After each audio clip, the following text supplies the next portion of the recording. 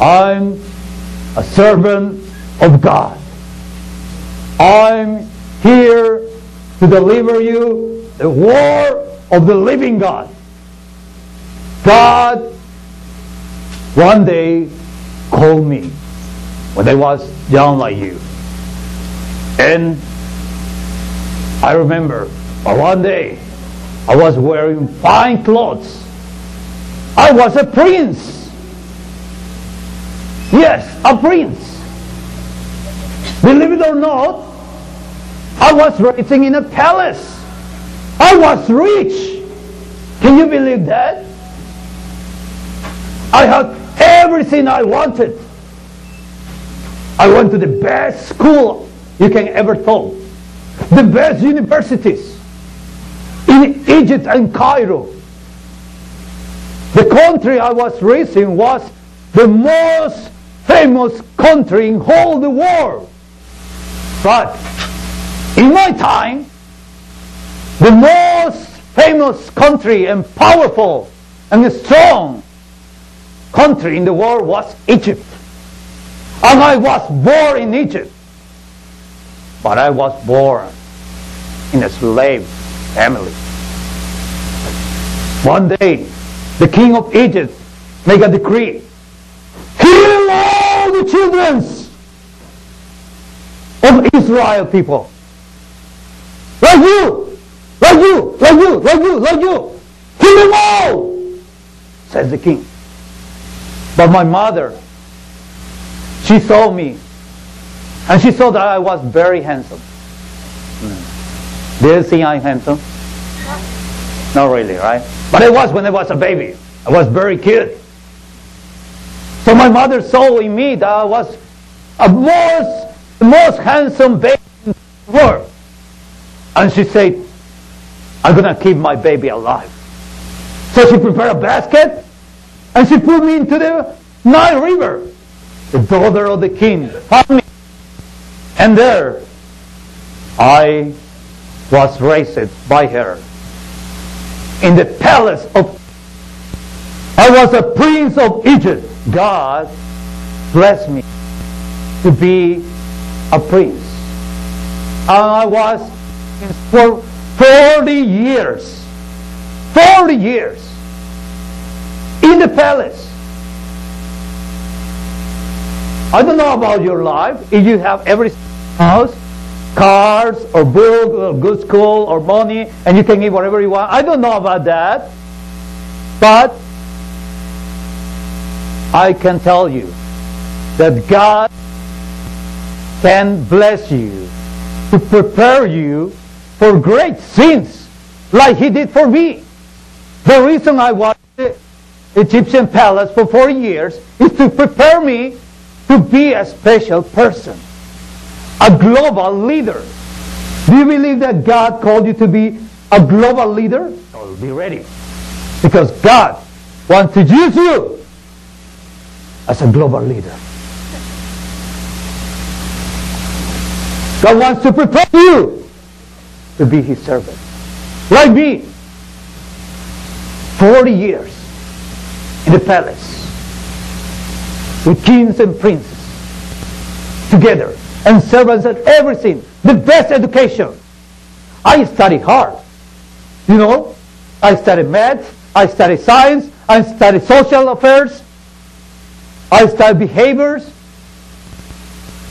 Yes, the reason you are in your school is to be a person that God can use. I pray and bless you that you can understand what I'm saying today. Because God sent me today to deliver you His message, His words. If you believe. God then sent me to the desert.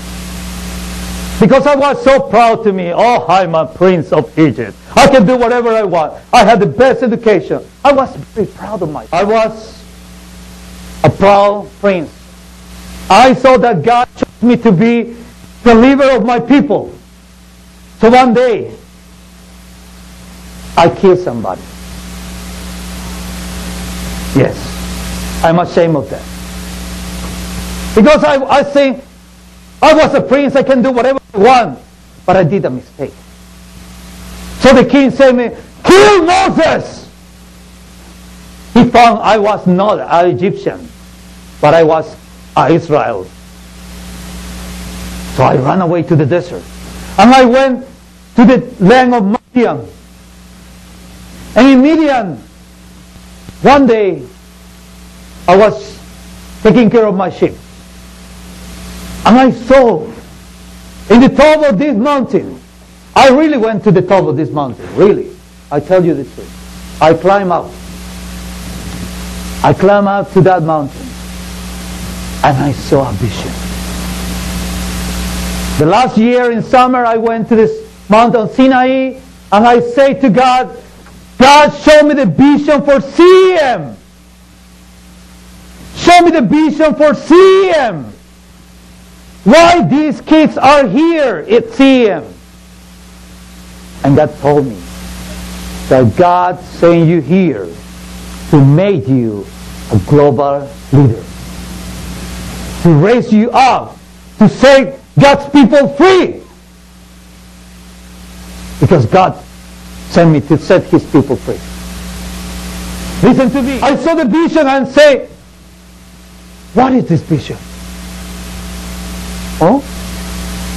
I opened my big eyes like this. And I looked carefully. And I was approaching close, closer, closer, closer, closer, with my eyes fixed on that vision. And then I hear a voice. I hear a voice. And the voice said, Moses, Moses, take off your shoes. This is a holy ground. And I take off my shoes. Who are you, Lord? Who are you? And he said to me, I'm the God of your father and your grandfather and your great grandfather. I'm the God of Abraham, Isaac, and Jacob. And I came here to set my people free with your help. And I said, Lord, who am I? But the Lord said, I will be with you. He told me, throw your sticks. I said, ah. I throw my stick. And then suddenly become a snake. Do you like snake? Me neither. And I was like, oh, a snake without shoes. What can I do? So the Lord told me, pick up from the tail. You know, you must be clever. If you see a snake, never touch the snake by the tail. You should touch the snake by the head. And then you can catch because it will bite you. But the Lord told me, take me from this tail. And I said, ah, ah, because I saw that the hair was looking, ah. but I obey. When God said to do something, even though you think it's nonsense, you must still obey and believe. Teachers, you must obey and believe. When God tells you and when the pastor tells you to do something that is no sense, just obey and believe. Because this come from God. And I obey and believe. And then I feel again the step from the tail and becomes again my button. I went to Egypt and performed many miracles by the hand of God. And we all come out from Egypt and walk again to this mountain of Sinai. And God tell me to climb up again. Listen. To climb on again. Because God wants to give his people his word. God give me his word. God said, first, do not worship any other God. Maybe you can worship money. Everybody likes money, right? Yeah. But if you like money more than God, that is an idol. You are worshiping something that God forbid you. And God said to us, do not make any idol. Anything that you put in between you and God, that can be an idol. Third, God said, do not misuse my name in vain. Never say, oh my God! Who teach you to say, oh my God? Who teach you? Who? Who? Who? Who? In your school, you teachers? They are no Christians. Christians never say, oh my God! Never use that word again. Oh my God is not for Christians. No Christian use that word. God said, do not misuse my name because God's name is holy. Then God said, keep the Sabbath holy. Today is Sunday. Is the Sabbath for Christian people. Today is the day of the Lord. The day when you come here to rest from your labors in this world. This is the day you don't go to academies. You don't go to study school. You don't do homework. It's a day to worship God only. Hey, listen to me. Because your parents going to send you to academies on Sunday. Or you have to go to academy to study for your test. You have to go to academy to study for your university. That's not God's commandment. You will do, and you will remember my, my word. I'm serious, guys.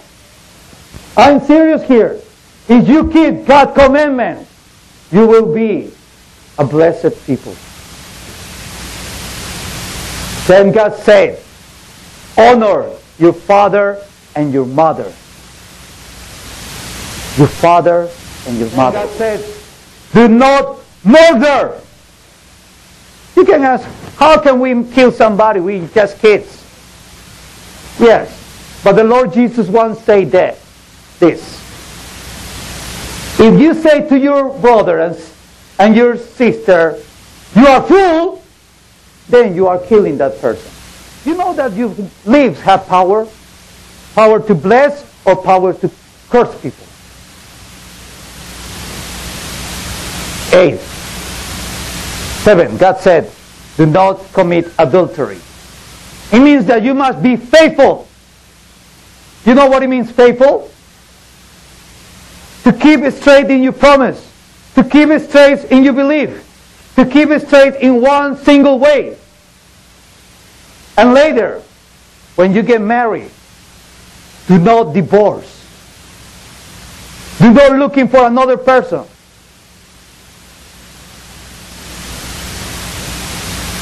Be faithful. Eight, do not steal. Don't take sins without paying. Don't do it even though for fun. Oh, it's fun to just go to the supermarket and take one candy, nobody see that.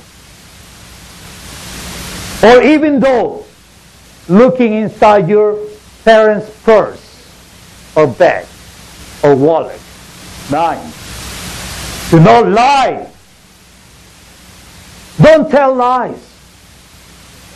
What is the difference between you and no church people? No Christian people. You always say the truth.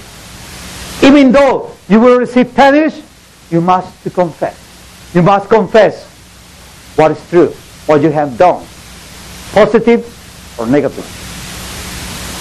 Finally, God says, do not covet.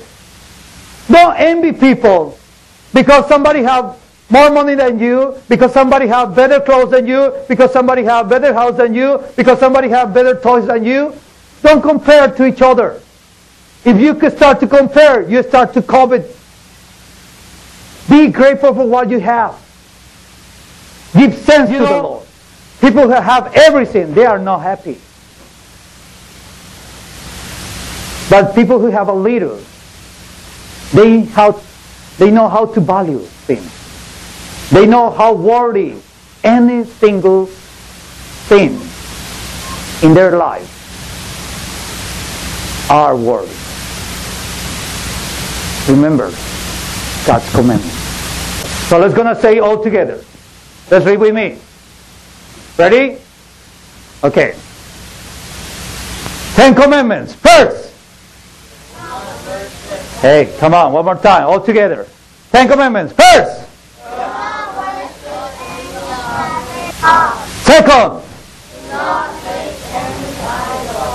Third. Four. Five.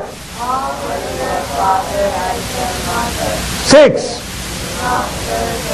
Seven. Eight. Nine.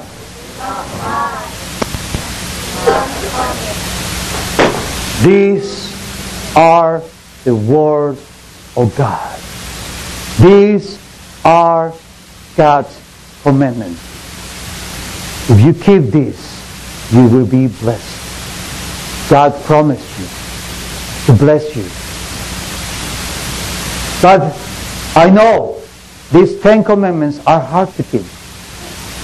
The Lord Jesus just summarized these ten in only two he said, Love your God with all your heart and all your strength, and love your enemy, your brothers and sisters as yourself. Even though love your enemies. Just love. If you love God and you love other people, you are keeping all these commandments. It's not hard to do if you love people.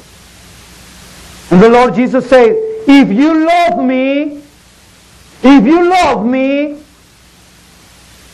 keep my commandments. So how do you prove that you love God? How can you prove that? Give him God's commandments. That's it. I bless you. And I pray that you will remember these commandments, not for Golden Bell, but for the rest of your life and he can bless you. In Jesus' name.